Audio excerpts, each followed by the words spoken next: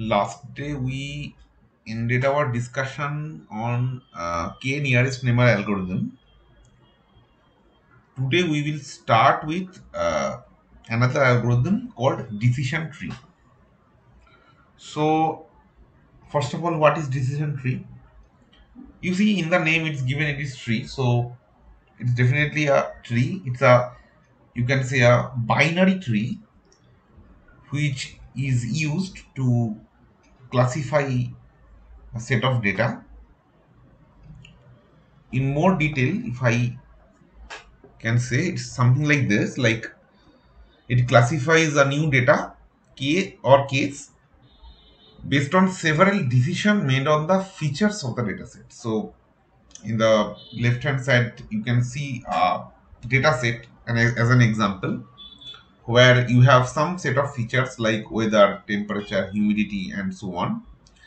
And the target variable or you can say the output is the last one that is play. I mean whether you want to want to play or not based on several weather conditions.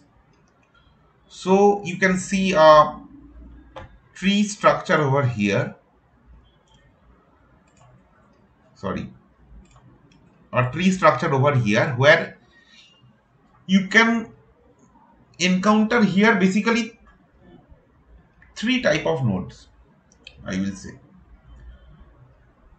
One is the root node. We all know that in a tree you will have a root node. And there are some nodes which we can call decision nodes. Based on that we decide whether we will play or not. So if I want to elaborate it a bit more, we can say that there are three type of node have in a decision tree algorithm. One is root node. So it is a node present at the beginning of decision tree. We all know that from this node the dividing started. So and the decision node, the node which gets after splitting the root node, which is called decision node but you see it's not like decision taken only after the root node even the root node is also a a you know a part of the decision node you can say. We must take the decision starting from root node itself. And at the end we have a leaf nodes where we will place different different uh, you can say cases or data points with respect to their class. Something like class is either yes or no. I want to play yes or not, right? So now see, question is that how this decision tree actually work. So let's try to understand with an example. Suppose we have a data point something like this. You see this data point is very scattered and we have assumed two features x1 and x2. So each and every point is represented by two features. And I have kept this particular pattern of data intentionally just to show you that where we have this decision boundary. You can see clearly that the decision boundary present somewhere here right something like this so mm, anyhow our goal will be to find this decision boundary at its best so that in future if a new data come based on under which boundary the point lies we can decide the data is in which class. For example, uh, if a new data comes and the based on the value of x1 and x2, if the coordinate in this system is somewhere over here, as you can see, this red is a new point. I don't know its class. I want to classify it. So based on the value of x1 and x2 of this particular red point, I will place somewhere in this space and I can see it's here and since this decision boundary is within over here so you can say that yes that means this new point should be within this particular class. But you know, it's an ideal scenario that you can see here. Like what ideal scenario mean? It mean that in a particular boundary we have a particular class only. There is no misclassification present in this particular decision boundary. But in real life, it is not, you know, a very common situation. You may have more than one uh, presence of uh, another class within the decision boundary itself. But in that case, for example, in real life, there will be some points which will come from blue, no, sorry, green. But in that case, what we do? We go for majority voting. What is majority voting? Let's see. Uh, we will see what exactly majority voting is. But let's proceed how this decision tree is created based on this particular data set. So we will start with a very, you know, we have we don't have decision boundary. Just imagine in this way, and we will start with very initial root node of the decision tree. Just for example, I am showing you a decision tree here. For example, let's take the decision tree started with a decision x1 greater than x5. So this is a criteria you can put here as a root node and you see until and unless you are I mean what will be our intention? Our intention will be to split the whole data set into several leaf node in such a way that each and every leaf node will have one of the class. Either you know blue or the you know somewhere like uh, yellow one or something like that. Okay. So now question is that if I want to build this decision tree we will have to start from some root node and definitely you must have some criteria over there in the root node right? So just for example I have shown here that maybe the criteria can be say x1 greater than 5 so before I split I have the full data set here all the you know say I'm taking same amount of green and other points is present. Now based on this particular criteria, if you see what will happen here, the criteria according to the criteria we must have a decision boundary like this, right?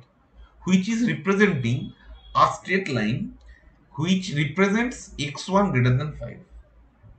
So whatever you know the points present in this space whose x1 value is greater than 5 that is this part and all the other data will be this side so if you split this one x1 greater than 5 I, your answer will be either yes or no for some all the points right? If I take yes or no so number of yes will be very few. As you can see in the right hand side we have very few points which is only green uh, which whose value of x1 is greater than 5 and in case of no you have all the other classes including some part of the blue i mean some part of the green uh, class also exists so as you can see over here that some part of the green class present in this site and also some part of the present some part of the other in all part of the other present uh, other class present here right? So you see this particular yes part this site, we can say that okay this is the optimal split we have in the right hand side in the right child you can say because because there is no scope or no need to split from this particular node because you have only one particular class present here. You don't need to, you know, need any other criteria because there is no other class. But in the left child you see, we have a mix of two different classes. So I have to split it more.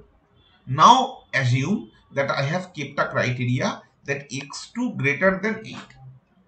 So that means with respect to this particular diagram, our decision boundary should be somewhere here maybe just assume this particular decision boundary represents all the points which uh, it divides actually the points with x2 greater than 8. So remember when I'm placing this decision boundary don't consider these points because these particular points already placed here. I am considering only this part of the code, this part of the space and here I am actually doing the uh, division. So x greater x2 greater than 8 will be satisfied by only these green points. These green points. Okay. So in the ES side we will have some more green obviously and we will have some mixed of two different classes in the other part of the class. You see, you cannot say that this is the decision boundary based on which you can, you know, decide in which class you will have because in this side you still have a mixture of two different classes. Right. So that means I have to split more on this in this part only. So what I have given I have assumed that maybe the criteria can be something like x1 less than minus 3. If I place this criteria, naturally we will have a decision boundary something like this. And you see in this whole side, whatever left, the this side is x1 less than minus 3. So the, in the ES side, we will have, I'm sorry, which is x, uh, x1 less than minus 3 that means uh, this part. So this part will be in one side which is greater than minus 3 that means minus 4 minus 5 that means all these green points will be x1 greater than i mean i mean uh, yes will be greater than minus 3 so it will be in the no side and you have something like this. So as a result what we have seen? By some set of decisions something like x1 greater than 5, x2 greater than 8, x1 greater, lesser than minus 3, something like that, we have divided the whole data set into several parts so that whatever you know you know it's an it, i mean data present in the different different leaf nodes are only of a particular class. It's not a mixture of two classes. So you can say we can have a optimal split over here. But the interesting point is that how you will determine that which will be what will be the criteria and what will be the optimal split for your tree because instead of x1 greater than 5 if I have some another criteria here or maybe if I change the variable instead of x1 if I change the variable to x2 maybe the entire tree will change. The tree formation will be entirely changed. In that case, the the you know the way uh, the points will be classified is entirely different than the present classification of the data. So question is that that mean with different different criterias and different different uh, variables we are using in different levels of the tree creates a different type of decision trees right so what actually happens you know in computer actually what it, what computer does computer does not start with a particular value and a particular criteria rather computer algorithm checks various possibilities with respect to criteria and the variable and creates more than one decision tree. And it chooses the best one which can divide the dataset as an optimal split. So now questions come that how it is exactly doing. Like for example, by the way, I mean, for example, I mean, just what I said written here that our model needs to learn which features to take and what will be the correct threshold values to get an optimal split. Why I am saying this? Because if you see this decision tree you will say that yeah it's look like a simple if else statement that if x1 greater than 5 then this side else come this side. Again if x2 greater than 8 so if you put you know some nested if else statement you can do this you know do this splitting. But question is that how we will understand what is optimal split. So there here is a part of learning that to to to check which features to take for the decision and what will be the criteria uh, or you can say threshold for this optimal speed. And that is the part of learning and that's why it's part of machine learning. So let's move forward. So to understand how the model decides this optimal speed. Remember you see here i have kept two criteria two different situation here you see. So for the same you know you know same set of points in one case i have considered x1 greater than 5 in the root node. In one another case i have considered x1 greater than 2 in the leaf node. Because of the difference of these two criteria the whole data set will be divided differently into two different cases. For example as you can see for x1 greater than 5 in the right hand side we have only one class present and you know some mixed of mixed class present in the left child.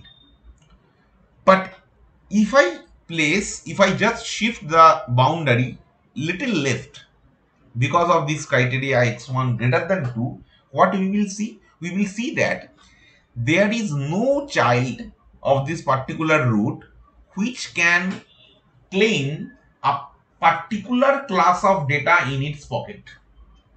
For example, what I'm trying to say is that you see, unlike this two, this particular case, in this node, we have a mix of both class present in both side. Okay. So, in among these two, which one is better one? We have to decide and this is a very basic you know part of deciding what will be the optimal split. Now to understand the mathematics what is running behind to decide which particular split is best we have to take a new concept.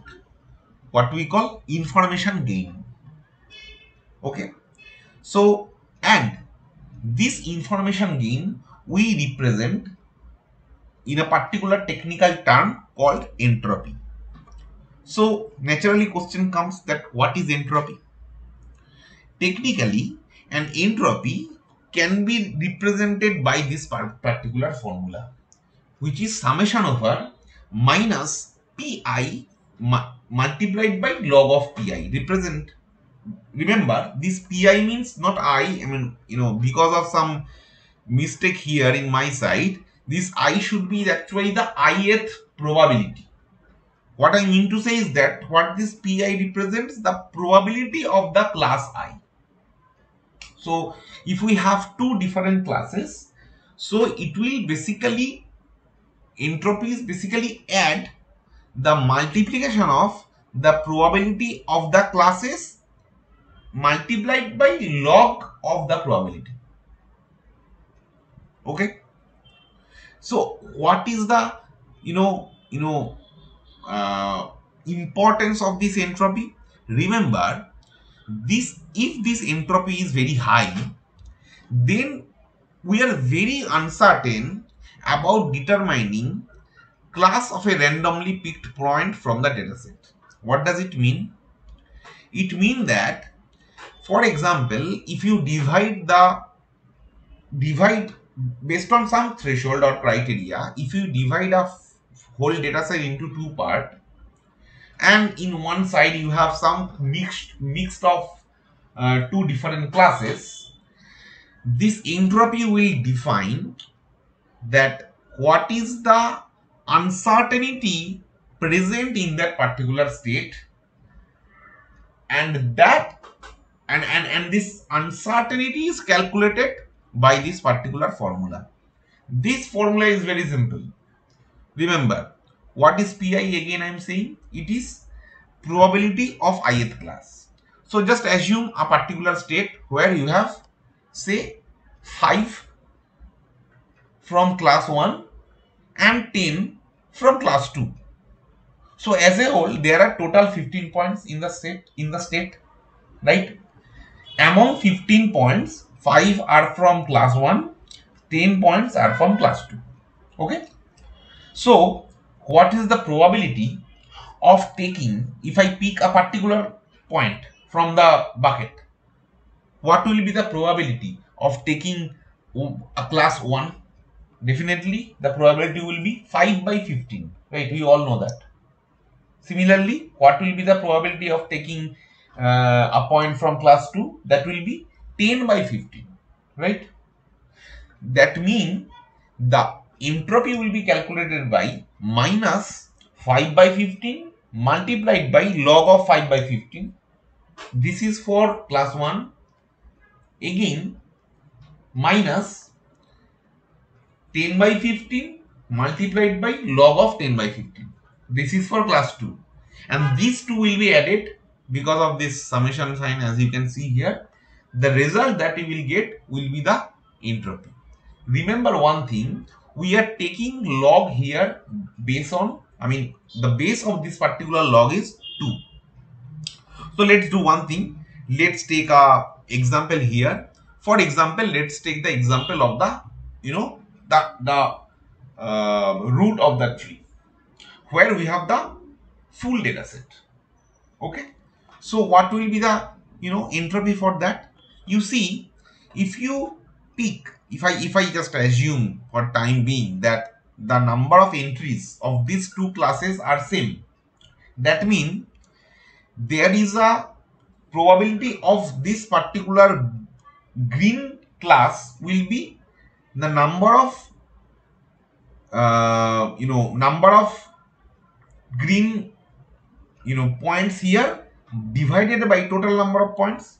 So since I'm assuming that the number of green and number of the other points is same, that's why it is basically half. Probability will be half for both green and this uh, some uh, you know I don't know the color name actually maybe you know some other color actually here.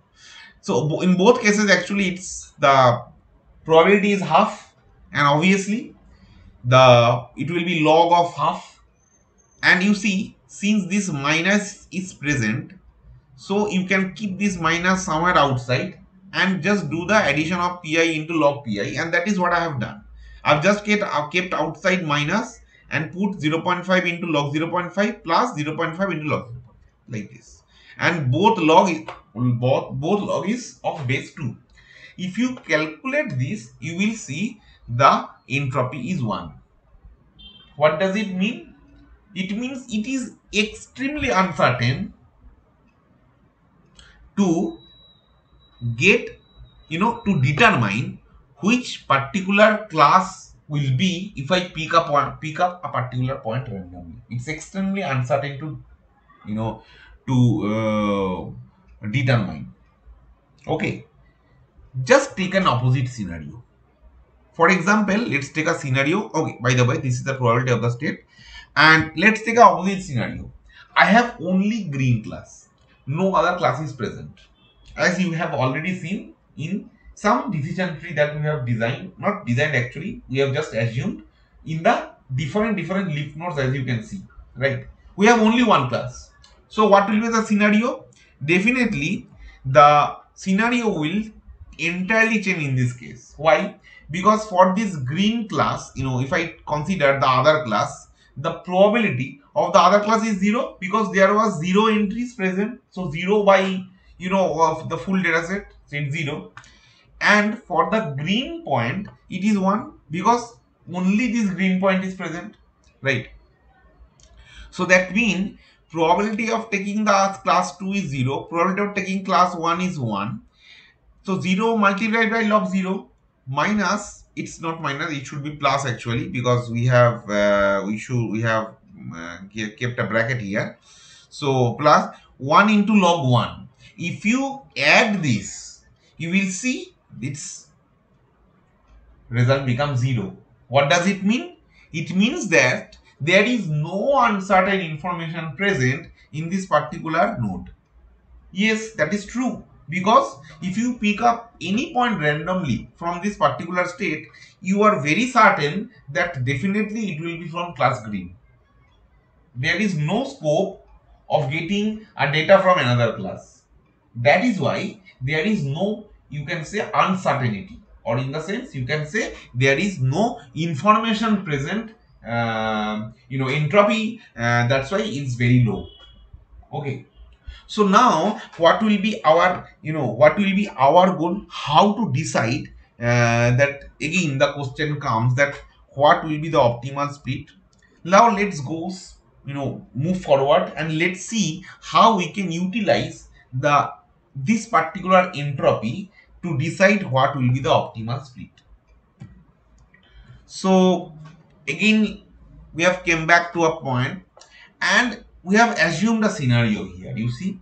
Just assume like for x1 greater than 5 for this particular criteria we have divided the full data set into these two part and for this particular criteria x1 greater than 2 we have divided these two part. What is the difference? The difference is that in this first case case 1 this particular right uh, child has entropy 0 right? This particular state has entropy 0 and it has some entropy here. So this entropy value you know i have just i'm not calculated actually i've assumed okay. Because some high entropy will be definitely there. Not may not be 0.95 maybe something 0.85 or 0.8 and exactly exact value is not my you know intention to put here. Because i am interested to understand how we can use this entropy in future for understanding what will be the optimal speed right? So just assume that we have these two entropy. And similarly for this case 2 because of the criteria x1 greater than 2 since we will have a mix of both classes in both side of the of the tree. So that's why definitely there will be some you know some similarity in the entropy value also right? So that's why i have assumed the entropy value may be 0.92 in the left in the left child and 0.94 in the right child. A similar value almost so with this entropy value what we can do we can actually find, try to find what is the information gain we are getting because of the split. And how this is calculated? Information gain is calculated based on a, a formula again that is entropy of the parent sub parent um, node minus uh, equation which is summation over weight of the you know child and entropy of that particular child. You know for example here this particular node has two childs. So it's a summation of weight of first child into entropy of this i mean weight of left child into entropy of left child and weight plus weight of right child into entropy of right child. As simple as that. Okay now question is that what what is weight so here weight is actually a you know it's a you can say uh, simply the ratio between the uh, the total number of uh, data present in this state divided by the total number of data in the actual data set.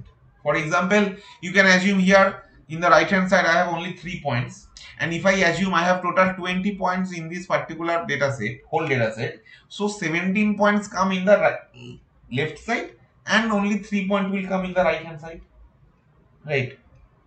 And that's why that means the weight of this particular state will be 17 by 20. 17 is this side by total number of data that is 20. Similarly, the weight of the right child will be 3 by 20 that I have written here you see and you see here the entropy will come into play. So whatever entropy that you have calculated by the equation that we have just visited that entropy value will be now used here. So if you just solve this equation, you will see the information gain for this particular split will be 0.1925 or something like that. Similarly, because of this particular criteria and we have two different, in, I mean some similar entropy value we have got and obviously we can get an information gain for this split as well which is nothing but again the entropy of the parent mm, minus summation over the weight of the child multiplied by entropy of the child. So what is entropy of parent? Entropy of parent will be definitely 1. We have already seen that because it is highly uncertain. I mean, I mean highly uncertain. And again minus it's here, you know, I've just assumed that 12 entries are here. So it's a simple calculation here and maybe it is and as a result here you see the information gain become 0.072 so what particular which one we will choose? We will always choose where information gain is high. We you will always see that this information gain will be always high if we have a situation like this. That means in one side we have already got an optimal split for example in this side in those situation information gain become higher. So we will choose the optimal split based on this information gain. Now next question come that uh, you know you know is there any any easy method that we can apply here? There is a little easier method here we can have a you know uh, you can say uh, update updation or modification of this uh, information gain or, or, not information gain i will say modification of the uh, formula that we that we are using for the calculation of uncertainty we can use a special type of index which we call Gini index or some people say Gini index. What is Gini index? I mean, or Gini index? Gini index is actually another type of measure for the same purpose. For the same purpose means for this finding this optimal split. Up to now what we have done for finding the optimal split, we have used entropy which is basically summation over minus probability of ith class multiplied by log of probability of ith class. The Gini index say that you don't need to go further, go for the complex operation like log because we know that log is a very complex operation which is which requires some hardware complexity. So just to minimize this hardware complexity, what we can do, we can use this Gini index which say that it is nothing but, you know, it's summation of only pi square. That means summation of probability squares of the classes. That is the Gini index. As you can see here. So everything will remain same. Okay whatever we have found entropy here. So entropy is no more will be used for this Gini index. Gini index, remember, I'm telling you again, Gini index is nothing but another technique which is a simpler than previous one in terms of computational cost. Because we don't have any logarithmic operation here. Okay. So as you can see here, just what we have done in previous, here also we have done the same thing. We have calculated the Gini index of the left node as well as we have calculated the Gini index of the right node for this particular type of split. Similarly, same thing we have done for this split as well. So I'm not going line by line calculation because its calculation is very easy. It's not a you know big issue I hope right so as a result what you have got you have got Gini index of left, left node is 0.46 this one Gini index of right node is 0 why 0 you know that because there is only one particular class. So it's very less. It should be. It, will be actually ideally zero. Yes. But definitely for this x1 greater than 2, this particular splitting criteria, since we have a mixture of both classes in both sides, that's why Gini index will never zero. Both for left and right. It will have some value. And as a result, what we will find? We will find out, first we have to find out what is the weighted Gini index. So, what is weighted Gini index? Weighted Gini index is nothing but a combination of the Gini index that we have found both from left and right node of a particular parent. The same thing that we have done here, you see, the weight of i with entropy of child i, a similar thing that is written here as well. You see, weight of i in Gini of child i. Instead of entropy, it is Gini. The rest of the concept is same. So we can easily find out the weighted Gini index for this particular optimal split as well as weighted Gini index for this particular type of split You know, not optimal split this split Now, again, the base question will come, what will be the information gain? You see here, we have ultimately we calculated information gain using the uh, formula of entropy of parent minus this. Since we are not using entropy, rather we are using Gini index. So here in information gain will be defined by Gini index of the parent minus weighted Gini index which is nothing but combination of the Gini index of two childs and their weightage. Similarly, we can get an information gain for this split also. So I hope this particular type, you know, the idea is really clear to you. So as a result, what we will get? We will get information gain for this particular split as well as an information gain value for this split. Whoever is higher will be the definitely best, you know, split among them, among them. So let's just revise a little bit here. So what we have seen, we have seen that for an optimal split, initially we have un understood that okay, we have to go for entropy. Because entropy actually calculates the uncertainty present in that particular state if we randomly pick a point from the bucket. And we have seen how entropy is calculated. How we are using this entropy?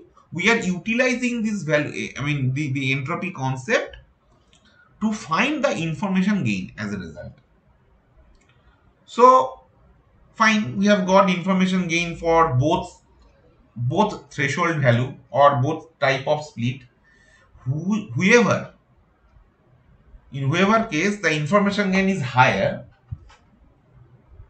we will choose that particular split is better than the other one. A similar strategy we are using here also. Instead of entropy, we are using Gini index. The difference is only instead of we are actually avoiding the logarithmic, logarithmic operation, which is basically minimizing the computational overhead.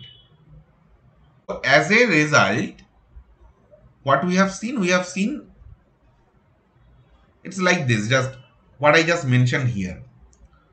And we have seen that case 1 gives the better information gain, therefore splitting criteria x1 is better. But so remember just what I told you that you know we started with a particular criteria and then we are drawing a decision tree and that's the final. It's not the case. Actually the model is comparing each and every possible split that take the one that I mean and take the one that maximizes this information gain. So there are a lot of you know you can say not trial and error but I will say lot of different different criteria checking and uh, you know efficiency of the feature calculation is running behind creation of a decision tree. The model traverses with every possible feature and feature values to search for the best feature and corresponding threshold. And this is vital and this is a very important point. But remember, the approach that this decision tree actually use we call greedy approach. What is greedy approach? A greedy approach mean that you start from a uh, point from some source and you have some destination to go. And you, during this journey from source to destination you may have several you know different different path. What this greedy algorithm does greedy algorithm chooses the optimal path based on the current criteria and it move further. For example, what I why I'm saying this because in case of decision tree, what happens that just assume a particular tree.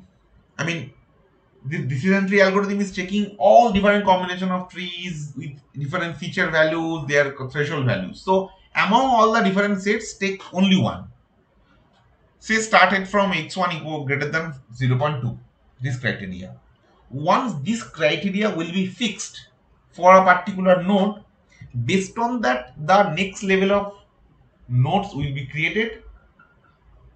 Then based on some threshold present in the next level of nodes, another next level of nodes will be created and then in this way decision tree will be made once a node is created, there is no way to go back and change its threshold value.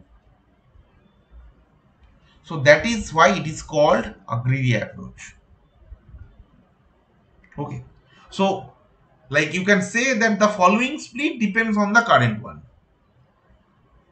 Okay.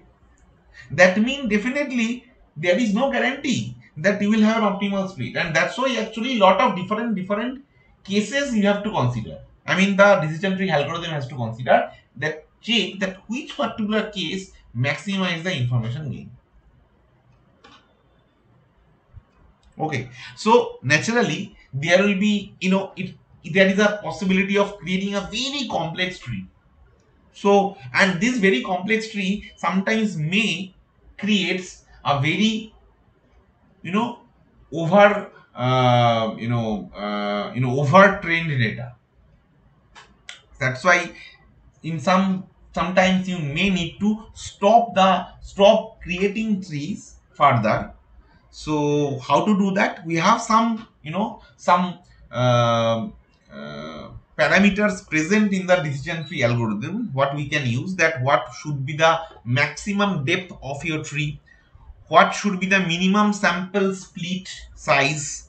Or maybe what should be the minimum samples minimum number of samples present in a leaf or maybe what are the maximum number of features we can place in a particular uh, decision node?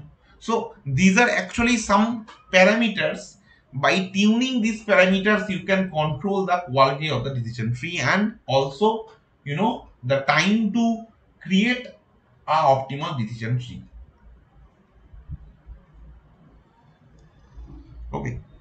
So here the you know the basic concept of decision tree ends. Now let's do one thing. Let's you know as usual let's go to a python code and let's see how this decision tree is actually working using scikit-learn